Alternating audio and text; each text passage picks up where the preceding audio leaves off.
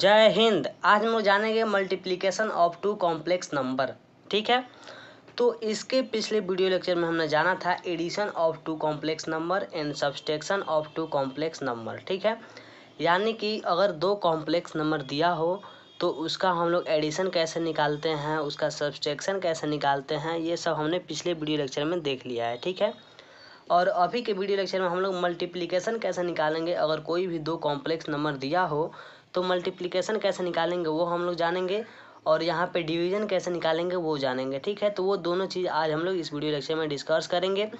तो जिन्होंने पिछला वीडियो लेक्चर नहीं देखा है, वो जा करके देख सकते हैं। हमारे डिस्क्रिप्शन बॉक्स लिंक में से भी जा करके देख सकते हैं या फिर हमारे चैनल पर विज़िट कर करके और जा करके प्ले लिस्ट से भी देख सकते हैं। तो चलिए बिना टाइम नेस्ट करते हुए हम लोग बढ़ते हैं अपनी वीडियो लेक्चर की ओर। तो यहाँ पे आपको दिख रहा होगा स्क्रीन पे multiplication of two complex number ठीक है? तो multiplication of two complex number कैसे होता है? तो ध्यान दीजिए let z is equal to a plus i b यानी कि हमने मान लिया यहाँ पे let z is equal to a plus i b and z two is equal to c plus i d ठीक है? यहाँ पे दो कॉम्प्लेक्स नंबर हमने माना, एक यहाँ पे जेड वन माना और दूसरा यहाँ पे जेड टू माना. ठीक है? Be any two complex numbers ठीक है? Then the product z one z two is defined as follows ठीक है? तो यहाँ पे z one and z two जब हम लोग फाइंड करते हैं मल्टीप्लीकेशन में तो क्या होता है? यहाँ पे ध्यान दीजिएगा। तो सबसे पहले तो क्या करते हैं? ये हमारा क्या है? यहाँ पे ए जो है, ये ए का करते हैं मल्टीप्लाई सी के साथ, यानी कि फ़र्स्ट टर्म का फ़र्स्ट टर्म के साथ हम लोग मल्टीप्लीकेशन करते हैं। तो इसलिए यहाँ पे ए इंटू सी यहाँ पे दिख रहा होगा आपको। फिर यहाँ पे माइनस है। माइनस क्यों है, इसको ध्यान दीजिएगा। तो माइनस इसलिए है क्योंकि क्या करते हैं हम? फ़र्स्ट टर्म को फ़र्स्ट टर्म के साथ मल्टीप्लिकेशन करते हैं सेकंड टर्म का सेकंड टर्म के साथ मल्टीप्लिकेशन करते हैं। तो यहाँ पे जब बी को डी के साथ हम लोग मल्टीप्लिकेशन किए हैं, ठीक है तो आई का आई के साथ मल्टीप्लिकेशन हुआ है।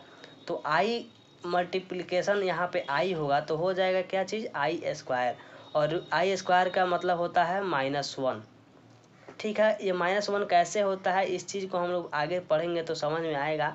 जब हम लोग पावर ऑफ़ आयोटा पढ़ेंगे ना तो वहाँ से ये सारा चीज़ क्लियर हो जाएगा, ठीक है?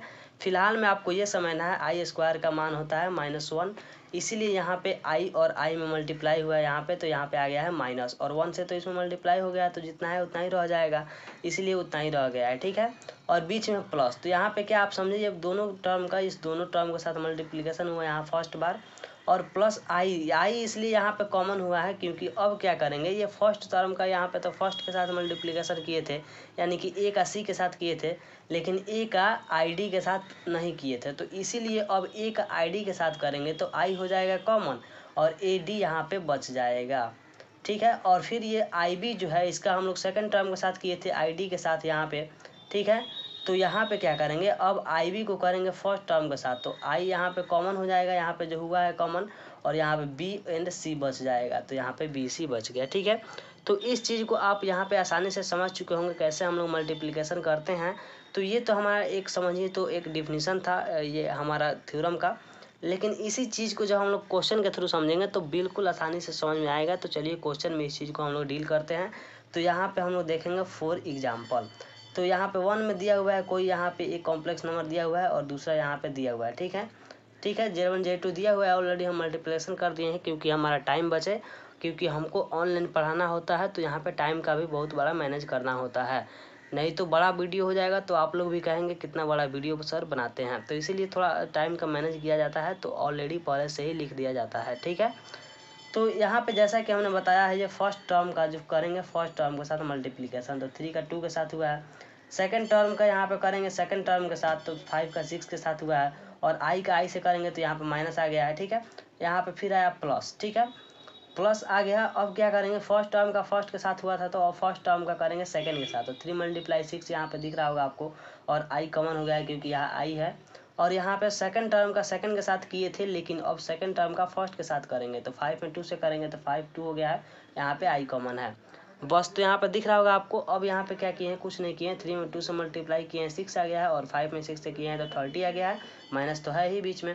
प्लस यहाँ पे थ्री में सिक्स से एटीन और फाइव में टू से टेन तो इसको जब हम लोग सॉल्व करेंगे तो इतना हमारा आ जाएगा और ये हमारा आ जाएगा यहाँ पे क्या चीज़? आंसर तो आप यहाँ पे समझ चुके होंगे कैसे हम लोग मल्टीप्लीकेशन ऑफ़ टू मैट्रिक्स का निकाल सॉरी टू कॉम्प्लेक्स नंबर को फाइंड करते हैं। यहाँ पे आपने समझ चुके होंगे, ठीक है? चलिए, अब यहाँ पे कुछ हम लोग आगे इस चीज़ को समझते हैं, जो कि आपको बहुत ही ज़रूरी है समझना। तो यहाँ पे हम लोग समझेंगे the multiplication of complex numbers possesses the following properties तो यहाँ पे जो मल्टीप्लिकेशन होता है आपका, वो कॉम्प्लेक्स नंबर का तो यहाँ पे कुछ प्रॉपर्टीज़ को फुलफिल करता है। यानी कि यहाँ पे कुछ प्रॉपर्टीज़ होता है इसके अंदर, जो यहाँ पे मल्टीप्लिकेशन ऑफ़ कॉम्प्लेक्स नंबर के से हम लोग उसको निकालते हैं तो हमारा यहाँ पे हो जाता है, ठीक है? तो इसी चीज़ को हम लोग समझेंगे। तो फ़र्स्ट में तो आपका होता है द क्लोजर लॉ तो द क्लोजर लॉ जो होता है, इसको फुलफिल करता है आपका multiplication of two complex number ठीक है? तो the product of two complex number is complex number यानी कि कोई भी दो कॉम्प्लेक्स नंबर है, यानी कि अगर मान के चलिए यहाँ जेड वन है और यहाँ जेड टू है, दो कॉम्प्लेक्स नंबर है, ठीक है? Z one and z two और इसका जब हम लोग z one into z two निकालेंगे, यानी कि मल्टीप्लिकेशन निकालेंगे तो बराबर में जो भी यहाँ पे आएगा, ये भी हमारा बिलोंग करेगा क्या चीज़ से? तो किसी न किसी कॉम्प्लेक्स नंबर से, इसका हम लोग नाम नहीं लेंगे। ये कॉम्प्लेक्स नंबर से बिलोंग करेगा। कॉम्प्लेक्स नंबर को जेड से सूचित करते हैं तो वो कुछ भी हो सकता है। यानी कि दो, यहाँ पे पहले तो कॉम्प्लेक्स नंबर है ही मल्टीप्लिकेशन निकालने के बाद भी हमारे ये कॉम्प्लेक्स नंबर ही आएगा। तो उसी को हम लोग बोलते हैं क्लोजर लॉ ठीक है? तो इसको प्रूफ नहीं करना है, क्योंकि आपके बुक में भी प्रूफ नहीं किया गया है। इसको सिर्फ़ आपको कॉन्सेप्ट को अभी समझना है, ठीक है? तो ये सिर्फ़ जैसे कि हम लोग टेंथ क्लास में या नाइन्थ क्लास में या उससे उससे पहले हम लोग सिर्फ़ फार्मूला का जानते थे और फार्मूला का यूज़ करते थे, ठीक है? वैसे ही सिर्फ़ यहाँ पे आपको जानना है जो ये होता है और इसका हम लोग क्वेश्चन में यूज़ करेंगे, ठीक है? यहाँ पे अभी आप लोगों को प्रूफ नहीं पढ़ना है, जब आगे की आप पढ़ाई कीजिएगा बी एस कीजिएगा तो वहाँ पर आपको देखने को मिल सकता है, ठीक है? चलिए, उसके बाद यहाँ पर हम लोग आगे जानेंगे second number commutative law competitive law क्या होता है? ध्यान दीजिए। For any two complex number z one and z two z one into z two is equal to z two into z one होता है। तो कॉम्युनिकेटिव लॉ जो आपका कहता है, यानी कि अगर आप दो कॉम्प्लेक्स नंबर ले रहे हैं z one and z two ठीक है? कोई भी दो कॉम्प्लेक्स नंबर ले रहे हैं तो उसका अगर मल्टीप्लिकेशन निकाल रहे हैं जेड वन जेड टू का तो इक्वल होता है जेड टू जेड वन का। यानी कि एक बार जेड वन पहले है और जेड टू बाद में है, यहाँ पे जेड टू पहले और जेड वन बाद में है, ठीक है? चलिए थर्ड जो आपका कहता है द एसोसिएटिव लॉ तो एसोसिएटिव लॉ क्या कहता है? यहाँ पे आप लोग ध्यान दीजिएगा, जो एसोसिएटिव लॉ जो होता है for any three complex number z one z two and z three यानी कि यहाँ पे थ्री कॉम्प्लेक्स नंबर है। तो जेड वन जेड टू निकाल करके मल्टीप्लिकेशन और दोनों का मल्टीप्लिकेशन जब आप कीजिएगा यहाँ पे जेड थ्री के साथ तो इक्वल होता है यहाँ पे z one multiplication z two z three multiplication के। ठीक है तो इसको हम लोग एसोसिएटिव लॉ बोलते हैं यहाँ पे। यहाँ पे आप लोग वीडियो को पॉज करके लिखते जाइएगा क्योंकि ये बहुत ही इंपॉर्टेंट चीज़ है और जब हम लोग क्वेश्चन सॉल्व करेंगे तो ये बहुत ही ज़रूरी चीज़ है, वहाँ पे आएगा। इसीलिए यहाँ पे हम लोग इसको डील करते जा रहे हैं और समझते जा रहे हैं, ठीक है? चलिए फोर्थ वन हमको समझना है एग्जिस्टेंस ऑफ़ मल्टीप्लीकेशन आइडेंटिटी तो there exist a complex number one plus i zero denoted as one called the multiplication identity such that z into one is equal to z for every complex number z ठीक है? तो यहाँ पे जो existence of multiplication identity जो होता है वह वन होता है, ठीक है? क्योंकि आपको हमने पहले भी बता चुके हैं एग्जिस्टेंस ऑफ़ एडिटिव आइडेंटिटी क्या होता था? ज़ीरो होता था। क्यों ज़ीरो होता था? हम पहले भी इस पर थोड़ा सा चर्चा किए थे, क्योंकि अगर यहाँ पे जेड है और प्लस ज़ीरो करेंगे तो हमारा जेड आना चाहिए, यानी कि एग्जिस्टेंस ऑफ़ एडिटिव आइडेंटिटी का मतलब ये हुआ एडिटिव मीन्स ऐड हुआ, यानी कि कोई ऐसा संख्या से ऐड किया जाए कि उतना ही रह जाए। तो इसीलिए यहाँ पे जेड होता था। इसलिए यहाँ पे इसमें जो है एग्जिस्टेंस ऑफ़ मल्टीप्लिकेशन आइडेंटिटी जो होता है वन होता है। वन इसलिए होता है क्योंकि यहाँ पे कोई कॉम्प्लेक्स नंबर है।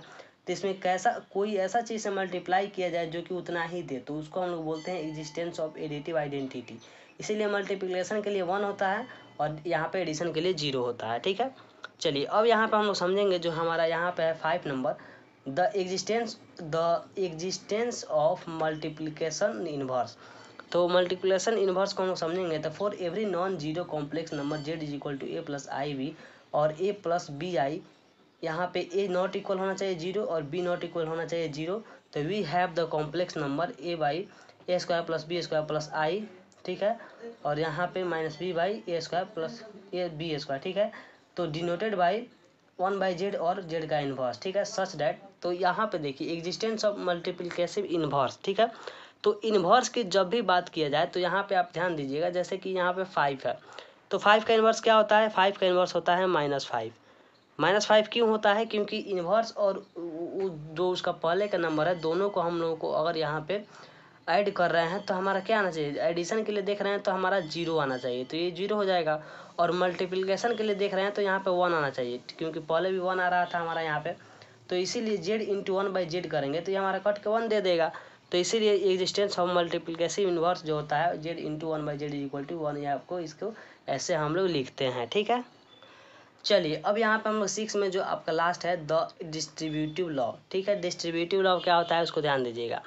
तो यहाँ पे for any three complex number z one z two and z three ठीक है, यहाँ पे a is equal to z one और कोस्ट में ब्रैकेट के अंदर z two plus z three is equal होता है। यहाँ पे जेड वन को एक बार जेड टू से मल्टीप्लीकेशन करते हैं, और जेड वन को एक बार जेड थ्री से मल्टीप्लीकेशन करते हैं। ठीक है, और सेकंड जो होता है आपका z one plus z two ये इसको पहले ही हम लोग ऐड कर दिए, उसके बाद मल्टीप्लीकेशन किए जेड थ्री से इज़ इक्वल होता है तो यहाँ पे जेड वन फ़र्स्ट और जेड थ्री से हो जाएगा, और यहाँ पे जेड टू जेड थ्री से हो जाएगा, ठीक है? तो इसको हम लोग डिस्ट्रीब्यूटिव लॉ कहते हैं, यानी कि डिस्ट्रीब्यूट करना, यहाँ पे दो भागों में बांटना जैसे कि फाइव रुपीज़ है, इसको जब हम लोग डिस्ट्रीब्यूट करेंगे दो आदमी में तो ऐसे कर सकते हैं, किसी को दो रुपये दे देंगे और किसी को थ्री रुपीज़ दे देंगे तो दोनों मिला के फाइव हो जाएगा कि नहीं हो जाएगा? तो यानी कि डिस्ट्रीब्यूट करना, वैसे यहाँ पे ये क्या है, आपको ऐसे दिया हुआ है तो इसको डिस्ट्रीब्यूट किया जाएगा तो जेड वन को एक बार जेड टू के साथ किया जाएगा और प्लस एक बार जेड वन को जेड थ्री के साथ किया जाएगा। तो इसको हम लोग डिस्ट्रीब्यूटिव लॉ बोलते हैं, ठीक है? चलिए, यहाँ पे थोड़ा सा हम लोग समझ लेते हैं division of two complex number यहाँ पे division of two complex number तो देखिए given any two complex number z one and z two where z one is not equal to zero होना चाहिए, ठीक है? तो द यहाँ पे the quotient of z one by z two is united by z one by z two is equal to z one into one by z two तो इसको division of two complex number बोलते हैं, ठीक है? तो ये तो थोड़ा ऐसे आपको और लग रहा होगा बट इसको हम लोग अगर देखेंगे यहाँ पे एग्ज़ाम्पल के थ्रू तो कुछ आपको अच्छा से समझ में आने वाला है ठीक है तो यहाँ पर दिया हुआ है फॉर एग्ज़ाम्पल तो z one is equal to यहाँ पर दिया हुआ है और z two is equal to यहाँ पर दिया हुआ है तो देन यहाँ पर हमारा कॉन्सेप्ट क्या कहता था z one by z two करेंगे ठीक है यानी कि z one by z two यहाँ पे करेंगे तो यहाँ पर सिक्स प्लस थ्री आई यहाँ पे इसको हम लोग z one by z two को हम लोग ऐसे भी लिख सकते हैं क्योंकि ये ऊपर मल्टीप्लिकेशन हो जाता है तो z one by z two हो जाएगा पहले की तरह तो इसलिए यहाँ पे हम लोग सिक्स प्लस थ्री आई यहाँ पर जेड वन को ऐसे लिख लिए और यहाँ पे ये जे टू को हम लोग बटा का फॉर्म में तो यहाँ पे टू माइनस आई हो जाएगा सॉरी तो इसको हम लोग ऐसे लिख लिए ठीक है? चलिए, अब देखिए इसको हम लोग क्या कर रहे हैं। तो यहाँ पे हम लोग इसको क्या कर रहे हैं, देखिएगा। तो यहाँ पे हम लोग यही कर रहे हैं, यहाँ पे सिक्स प्लस थ्री आई तो बाहर हम लोग रख लिए हैं। और one minus one by two minus i जो है, इसको क्या करेंगे हम लोग? यहाँ पे देखिए इसको हम लोग क्या कर रहे हैं, ध्यान से देखिएगा। इसको थोड़ा सा आगे ही तोड़ दिया गया है one by two minus i जो है, इसको क्या करेंगे? ऊपर में कहाँ करेंगे? ऊपर टू प्लस आई से और नीचे टू प्लस आई से। तो इसको जो हम लोग सॉल्व करेंगे तो ऊपर तो हो जाएगा टू प्लस आई मल्टीप्लिकेशन होगा और नीचे क्या हो जाएगा? यहाँ पर नीचे जो हो जाएगा आपका, a a minus b into a plus b हो जाता है आपका, a square minus b square formula होता है। ठीक है तो इस फार्मूला पर जब हम लोग ब्रेक करेंगे तो यहाँ पे क्या आएगा? ध्यान दीजिएगा। तो यहाँ पे टू का स्क्वायर आ जाएगा, टू स्क्वायर और माइनस यहाँ पे दोनों तरफ़ आई है तो आई का स्क्वायर हो जाएगा। ठीक है? तो आई का जब स्क्वायर हो जाएगा तो आपको पता है आयोटा स्क्वायर का वैल्यू क्या होता है, हम पहले ही बताएँ, वहाँ पे माइनस वन होता है, जब इसको हम लोग पावर ऑफ़ आयोटा पढ़ेंगे तो समझ में आएगा। फ़िलहाल मैं आपको वैल्यू याद रखना है। तो माइनस जब वन होता है तो टू का स्क्वायर और यहाँ पर माइनस वन का स्क्वायर जब होगा तो माइनस वन का स्क्वायर क्या हो जाएगा? माइनस वन का स्क्वायर जो होगा, आपका प्लस हो जाएगा। और फिर प्लस हो जाएगा तो यहाँ पर टू स्क्वायर माइनस यहाँ पर वन का वन हो जाएगा। लेकिन हम वन का स्क्वायर भी लिख सकते हैं अपनी सुविधा के हिसाब से। तो सुविधा के हिसाब से जब हम लोग स्क्वायर लिखेंगे तो यहाँ पे आपको ये समझना है, ये माइनस को अगर अंदर खींच लेते हैं तो यहाँ पे क्या बचेगा? टू स्क्वायर और प्लस माइनस वन का फिर स्क्वायर हो जाएगा। और इसको जब हम लोग हॉल करेंगे तो टू स्क्वायर प्लस वन हो जाएगा कि नहीं हो जाएगा? टू स्क्वायर प्लस वन का होल स्क्वायर भी लिख सकते हैं, चाहे तो। लिख सकते हैं कि नहीं लिख सकते हैं? तो इसीलिए इस कुछ इस टाइप से क्या किया गया है? इसको तोड़ा गया है और यहाँ पर डायरेक्टली लिख दिया गया है, ठीक है?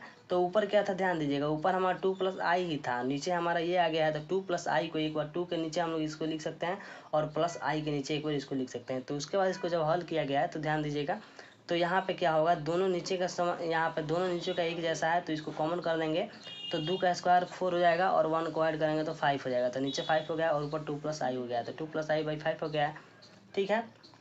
Two plus i by five हो गया। अब इसको क्या करेंगे? यहाँ पे ध्यान दीजिएगा, यहाँ पे थोड़ा समझने वाली बात है। यहाँ पे कैसे किया गया है, इसको ध्यान दीजिएगा आप लोग। तो क्या किया गया? वन बाई फाइव को साइड में कर लिया गया है और सिक्स प्लस थ्री आई जो है, इसका मल्टीप्लिकेशन कर दिया गया है टू प्लस आई के साथ। तो मल्टीप्लिकेशन जब किया जाएगा तो क्या होगा? इस चीज़ को समझिएगा। सिक्स का एक बार टू के साथ होगा तो सिक्स टू जब ट्वेल्व हो जाएगा और थ्री का एक बार वन के साथ होगा तो थ्री हो जाएगा। आई आई इंटू आई आई स्क्वायर हो जाएगा, यानी कि माइनस आ जाएगा। तो ये तो आ गया। अब ये क्या करेंगे, इस दोनों को दोनों के साथ कर लिए ठीक है? अब क्या करेंगे, दो, पहले वाले को दूसरे वाले के साथ। सिक्स में यहाँ आई से करेंगे तो सिक्स सिक्स आई हो जाएगा तो आई कॉमन हो जाएगा सिक्स यहाँ पे हो गया है, ठीक है? इसको ध्यान से समझते जाइएगा फिर सेकंड वाले को फ़र्स्ट वाले के साथ करेंगे थ्री टू या सिक्स हो जाएगा, और आई कॉमन कर लिया गया ठीक है? तो ट्वेल्व में से थ्री के नाइन हो जाएगा, और six plus six twelve i हो जाएगा। तो ये फाइनली आपका आ गया है यहाँ पे आंसर तो यहाँ पे आज हमने समझा multiplication of two complex number क्या होता है division of two complex number क्या होता है, ठीक है? थोड़ा हमने वीडियो फास्ट बनाया है, क्योंकि ज़्यादा टाइम हो जाता है तो फिर भी उसके लिए भी सोचना पड़ता है। तो अगर आप लोगों को कोई भी डाउट रह गया हो तो आप लोग कमेंट करके पूछ सकते हैं। अगर आप लोगों को वीडियो अच्छा लगा हो तो दिल से लाइक कीजिए, कमेंट कीजिए, और अपने ज़रूरतमंद दोस्तों के पास शेयर कीजिए, ठीक है? और हमारे चैनल को सब्सक्राइब कीजिए। और हाँ एक बात, बेल आइकन दबाना नहीं भूलें, क्योंकि कोई भी वीडियो हम अपलोड करेंगे तो उसका नोटिफिकेशन सबसे पहले आप लोगों के पास पहुँच जाएगा। फिर मिलते हैं नेक्स्ट वीडियो में, तब तक के लिए जय हिंद।